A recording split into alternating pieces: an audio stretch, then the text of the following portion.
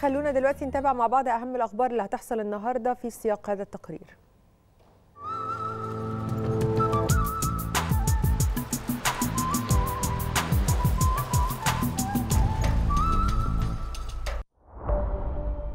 بالنسبة للأخبار اللي هتحصل النهاردة فدار الإفتاء المصرية أعلنت أنه اليوم الثلاثاء هو المتمم لشهر رمضان المبارك وبكرة الأربعاء هو بداية شهر شوال وأول أيام عيد الفطر.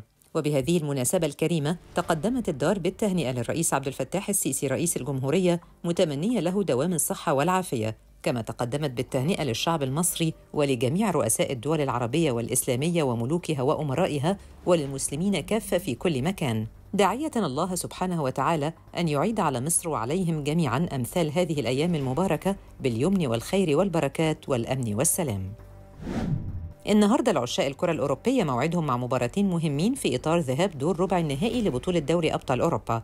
هيلتقي مانشستر سيتي الإنجليزي مع ريال مدريد الأسباني في التاسعة ليلاً. في نفس التوقيت هيلتقي أرسنال الإنجليزي مع بايرن ميونخ الألماني. النهارده العشاء الكرة المصرية أيضا موعدهم مع مباراة قوية في إطار الجولة الثامنة المؤجلة من الدوري حيث تجمع ما بين بيراميدز والجونة في العاشرة مساءً.